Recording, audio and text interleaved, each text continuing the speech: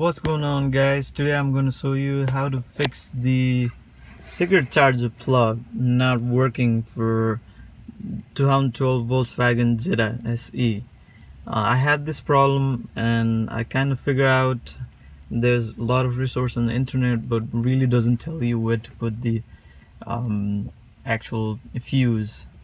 So I'm gonna show you how it works. So if you have 2012 Jetta SE and if yours this the right here this hole right here the cigarette charger is not working uh, most likely is because your fuse is blown away. Your fuse is actually damaged. So um, my this thing I bought it was not lighting up so I figured out there's an issue with my fuse.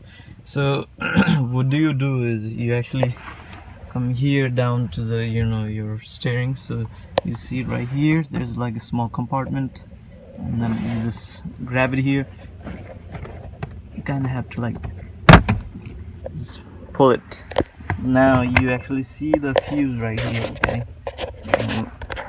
And, the one that you have to actually check is this one right here the 20 ampere. I'll take a picture of it and post it um, and then maybe it will be more clear for you guys to see it. So this is the one the 20 amperes is the one that actually helps you with the car charge the cigarette charger. So I bought it from uh, O'Reilly's you get this in a little package like this. Um, just four bucks.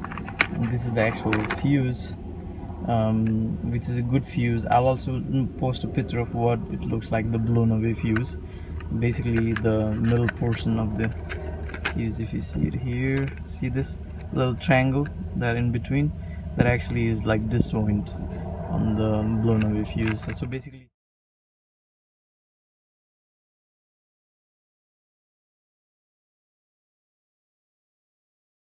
so basically you plug this in you take you take i'm not going to do because i already did mine. So this you take it out and you replace with the new fuse and that's all you have to do.